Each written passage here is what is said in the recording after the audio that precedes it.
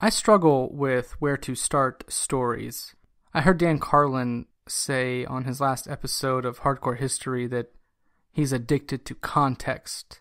He has stories he wants to tell, and once he gets into them, the story changes so much that his original idea for one show on one topic turns into a six part series on something else entirely. That's how I feel about what I wanted to share with you right now.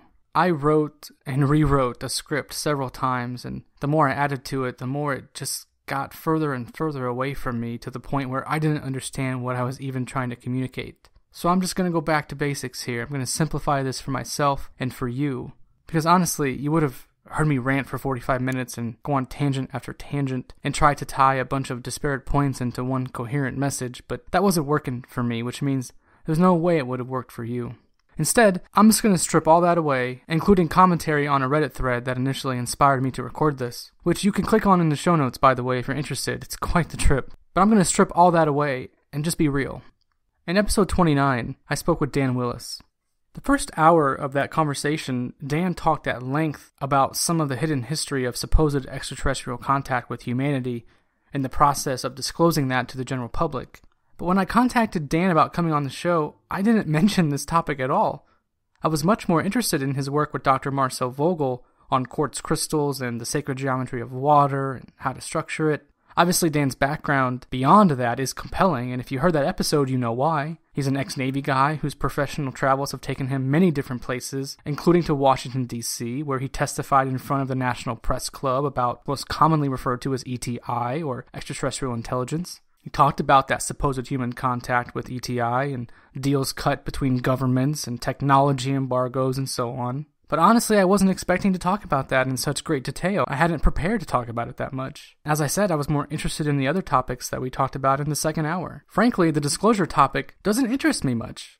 My issue with disclosure is the large group of people pushing for it, pushing for this quote unquote truth to finally come out. But that group that's pushing for this truth is pushing for it from a gang of corrupt authority figures. The people fighting for disclosure are fighting against an entity that has done nothing but hide, cloak, lie, and kill to keep secrets.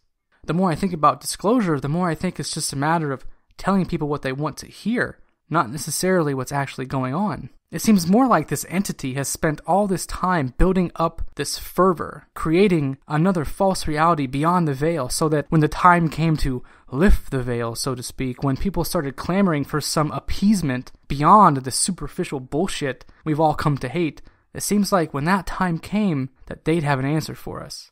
It just seems like another distraction, just another false construct being built for you instead of being built by you.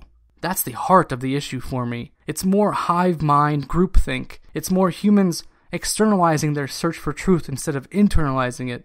The further out you go to search for truth, the further away from it you actually are. That's why I got rid of everything I had initially written and rewritten. I had 15 pages of me tumbling down a rabbit hole that started with disclosure, then somehow got onto coronal mass ejections and reptilians and the whole Corey Goode stuff, and then I just got lost in it. The whole thing made no fucking sense. It was me trying to externalize. I was trying to turn chaos into order, and that never works.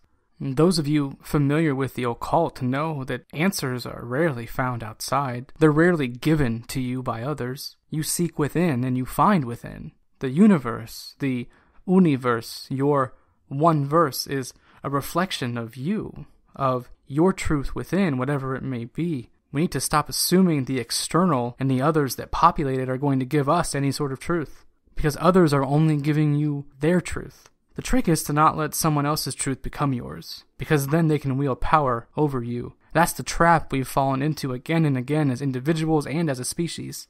I heard Walter Bosley say recently that paranormal phenomena knows your motives. It knows what you want to see. He said, quote, If you want to go out and have the close encounters of the third kind or the ET experience, you can go out and it will give you that. Of course, that might not be what's really going on. End quote. What is the it he's talking about? Is it this etheric energy that can literally manifest anything we desire? I don't know. I don't want to pretend like I do know. Because who does know what's really going on? No one does. We're all trying to explain something that's unexplainable through our own distorted lenses, which again is our fatal flaw as individuals and as a species. Each of us is trying to make order out of chaos. Instead of embracing the random, we settle for tidy, convenient, comfortable little reality bubbles that make too much sense. You ever met someone who's too nice and it actually bothers the shit out of you? That's what this is. It's too nice, it's too comfortable. Honestly, the universe, our individual universe, our one verse, it's completely random. There is no single explanation, interpretation, or understanding of it that is correct or accurate.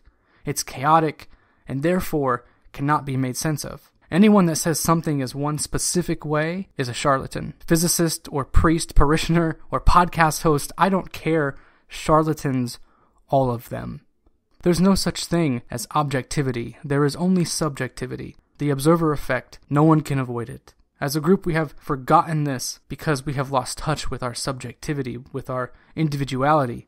We have herd mentalities, that group think, those hive minds I mentioned earlier.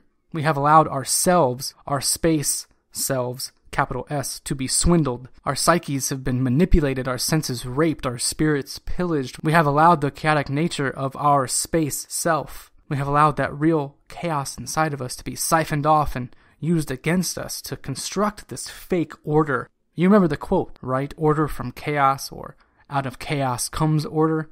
It's exactly what we've allowed to happen. We allowed our individuality to be stripped away from us, our individual sovereignty dissipated because it was easier on our mortal vessels. The chaos we all have inside of us was plundered and replaced by order, a new world order constructed for you, not by you. And they, whoever they are, built that order because order is easier to control. Order is easier to explain, to interpret, to understand. Order is what ego feeds on, it's what ego craves. Order is governed by the almighty dollar. Order is your shitty 9 to 5 job, all the bills you have to pay, all the rules and regulations and restrictions and laws you're forced to live under, all the incessant celebrity gossip and rigged sporting events and mass media theatrics you're subjected to. Order is genetically modified bread and geopolitical circuses. But that order does seem to be breaking down.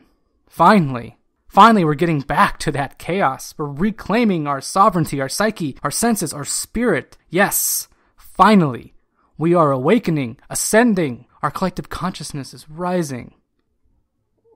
Or is it? See, this is where we have to be careful. This is where our discernment is going to be tested. We really have to let our hearts guide us here. Because maybe, just maybe, these ideas of collective consciousness and spiritual awakening and ascension, maybe this is the new order. Maybe this is the new world order that's being constructed for us instead of by us. Maybe the foundation for this order has been laid in the last several decades and now the rest of it is being built for everybody else brick by brick, hashtag by hashtag, woke hipster by woke hipster. And this leads me to a theory, to an idea known as hypernormalization. This was an idea first presented in a 2006 book by Alexei Yurchak titled Everything Was Forever Until It Was No More The Last Soviet Generation.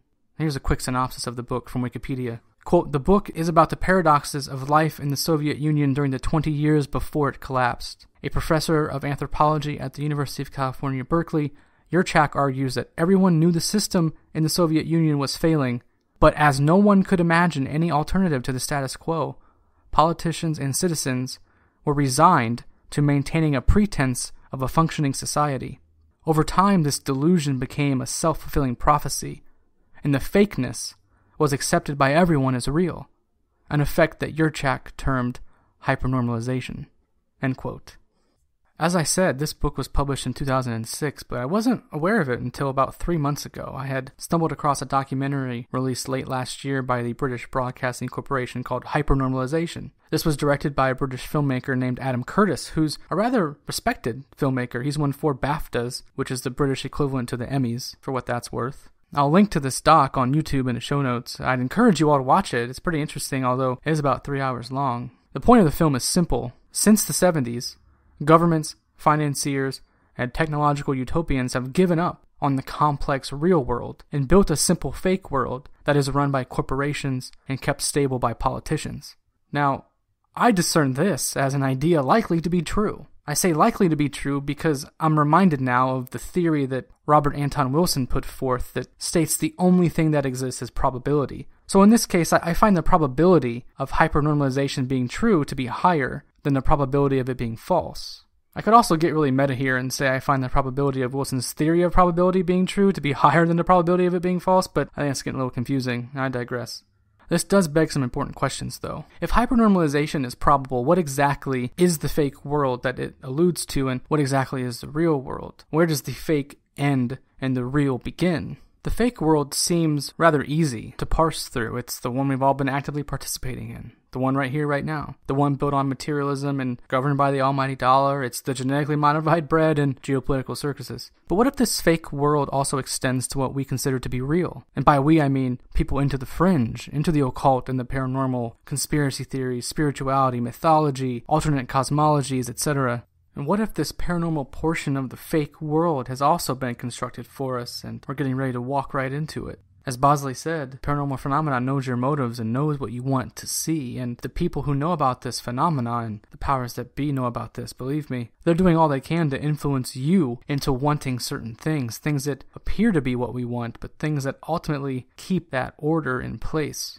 Hey, if more and more people want corrupt leaders exposed, or extraterrestrial disclosure, or the restoration of magic, well, guess what we're going to get? If you want to live in a world with 120 different alien species, hey, here you go. Here's your Draco reptilians and your Greys and your blue avians. Ladies and gentlemen, the deep state may have actually constructed an even deeper state for us to get lost in. We're going to get that flavor of bread. And we're going to get those types of circuses. I guess all I'm saying is be careful. Be careful with whom you've been cohabitating with or co creating with. You may feel as if your juju is on point, but unless you've mastered your space, capital S self, and don't need a co creator, you're still very much under the influence of their order. Yes, this is a, a pivotal moment in our collective existence, but we have to remember that this is an individual journey. You know, one of my favorite movies is The Wizard of Oz, and 78 years after its release, it's as relevant now as it's ever been. We all want the man behind the curtain to reveal himself to us. But if The Wizard of Oz taught us anything, it's that the answers we seek are already here. Remember that line when Dorothy and the gang stroll in to meet the wizard and the curtain gets pulled back? Pay no attention to the man behind the curtain. You know why? Because he's a charlatan, an illusion, a reflection of your own creative capabilities. Seriously, pay him no mind. Your character is already courageous. Your mind is already sharp. Your heart is already pure. But it's time to reclaim your spirit. It's time to reclaim your chaos.